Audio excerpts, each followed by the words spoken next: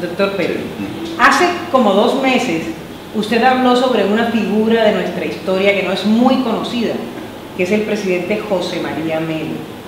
¿Por qué lo mencionó?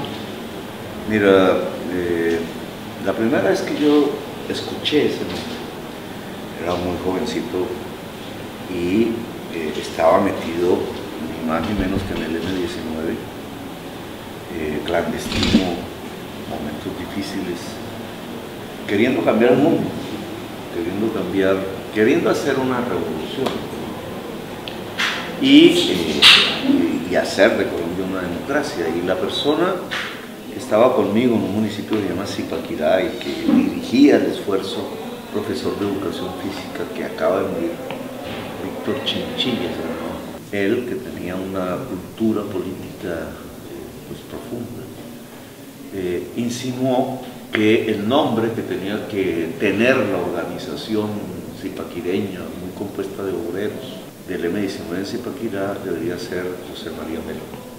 Y ahí, con, ahí ¿por qué? ¿Quién es José María Melo? ¿Quién es?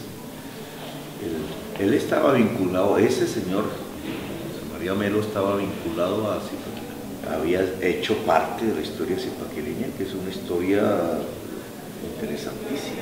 Súper, desde la colonia. Es precolombina incluso. La sal era el, la moneda de, de, de los españoles que salía de ahí. Era un poblado indígena y ya fue rebelde contra los españoles.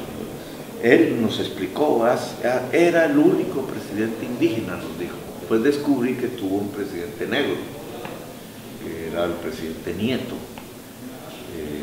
A ambos les pasó lo mismo, no los reconocen, pero el general Melo era un indígena de sur de Tolima, de Chaparral, Coyaimuno, le llamo yo, que ascendió a general, y esto es interesantísimo, porque después investigué todo, parte de esa historia, sin que sea un experto en él ni nada, eh, pero eh, él asciende a general, un indígena puede volverse general, es porque está en el ejército libertador. Hoy sería un imposible. Sí. Él eh, se mete de niño al ejército, con Bolívar, se vuelve teniente del ejército de Bolívar, pelea con Bolívar eh, eh, muchas batallas famosas, Bomboná, Pichincha, con Sucre, y es victorioso, jovencito de ser el indígena teniente, y muere Bolívar 1830 y entonces viene toda la destrucción de la obra de Bolívar, la Gran Colombia, y él decide de luchar por mantener la Gran Colombia. Exacto. Y entonces lo que hace es ir a Venezuela a pelear contra Páez, que está desmembrando la Gran Colombia por el lado venezolano, eh, tratando de mantener viva la idea de Bolívar y obviamente fracasa. Retorna a, a Colombia, él se transforma en general. Para 1850-51 él es el general del ejército libertador. Él era el general en jefe de todas las tropas en Sí. ese momento. Sí. Y eh, ocurre una conmoción muy interesante en Bogotá, en Santa Fe, Bogotá, que es la insurrección de los artesanos, que está al interior de la div- división del gran partido político de la época, que es el Partido. Que surge ¿Por qué ahí ocurrió? Por la traición de José- López Llobando. de José Hilario López. Digamos, había una tensión dentro del liberalismo muy interesante porque tiene que ver mucho con la época actual. Sí, Los liberales se habían dividido entre gólgotas y draconianos. exacto. Eh, los gólgotas, si mi memoria no me falla, estaban pidiendo eh, la libertad de comercio. Como comerciantes les interesaba que el país importara más, que hubiera libertad de comercio internacional, que pudieran importar los paños básicamente de Inglaterra en Colombia, que era eh, eh, Inglaterra se estaba convirtiendo en el gran poderío capitalista mundial a partir de los textiles. Ahí es donde yo quiero llegar. O sea, ¿qué similitud tiene todo eso con lo que nosotros Sí, vivimos hoy en Colombia? Los Golgotas serían como César Gaviria y la apertura económica. El liberalismo ha tenido esa misma corriente desde hace años. Sí, al interior. Eso surge de Adam Smith y tiene su teoría, digamos, pero es parte del fracaso nacional. Sí. Lo que los artesanos, que vendrían a ser, deberían ser, digamos, la clase obrera de hoy, incluso la pequeña y mediana empresa de hoy, eh, esos artesanos sabían que la importación de los paños los arruinaba. Exactamente. Y entonces trataban, propendían por una política eh, que auspiciara el crecimiento de la economía nacional, protegiendo las importaciones. Ellos se llamaron los draconianos. Los draconianos. Y eh, se organizaron en Bogotá con las sociedades democráticas. Era una aparición del pueblo ¿cierto? El pueblo del entonces productor, trabajador, eh, queriendo que el poder les ayudara, que el poder estuviera a su servicio, es decir, que hubiera una democracia.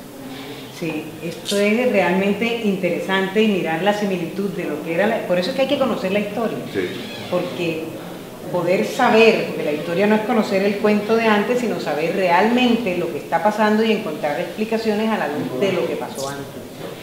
Ahí vamos a la pregunta de la cátedra de historia. En caso de que usted sea elegido presidente, ¿instauraría la cátedra de historia? Sí, obviamente, es que un pueblo que no conozca su, su, propio devenir, porque es que esa es la historia del pueblo, pues eh, se equivoca en las decisiones que toma en el presente, ignora lo que ha pasado. Por ejemplo, esa lucha entre draconianos y gólgotas, que es la lucha de hoy. Exactamente. Una economía que quiere crecer, entonces tiene que protegerse y el Estado tiene que servir para inducir el crecimiento de la producción, que es la base de la riqueza. Era la misma discusión en ese entonces. El general Melo eh, es convocado por los artesanos que, se han, que han hecho una revolución, se han tomado el poder en Bogotá que quieren que sea el poder del país. Y entonces los artesanos mismos llaman al general Melo, al general indígena, a que dirija el gobierno. Eh, a eso le llamaron golpe de Estado, pero es una revolución. Eso es una revolución, indudablemente.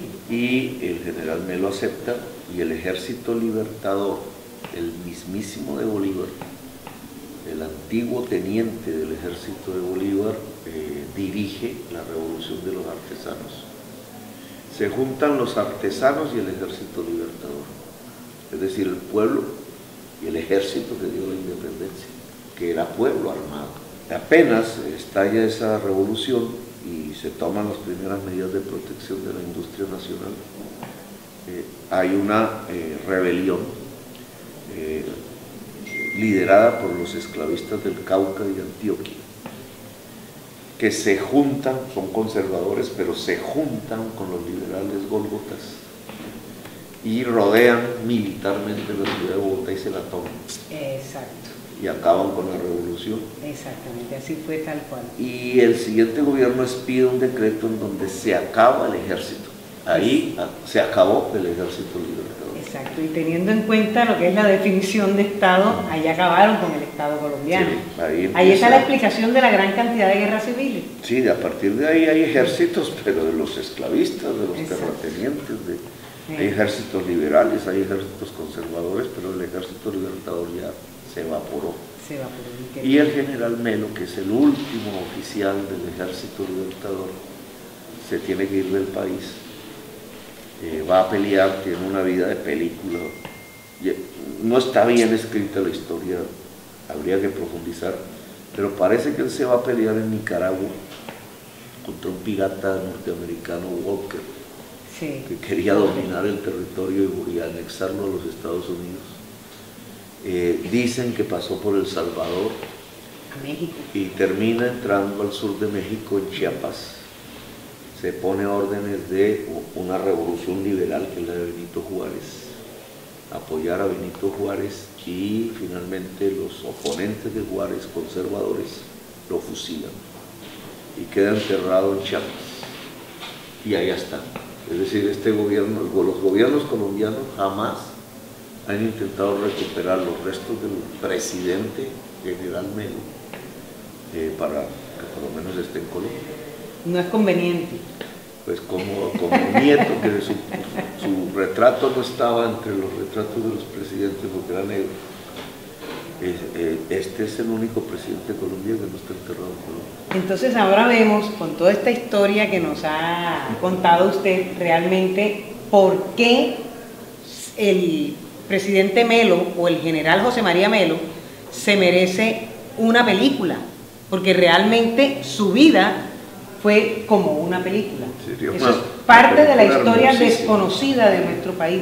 La mayoría de la historia de Colombia es una historia oculta o ocultada o desconocida, que por eso la tenemos que estudiar. Desaparecida como tantos desaparecidos. Es la voz de los indígenas, la voz del pueblo. Una revolución, un presidente indígena, un oficial de Bolívar. Y todo eso junto pues se vuelve demasiado rebelde, digamos, para las oligarquías colombianas. Exacto. Bueno, muchísimas gracias, doctor Petro.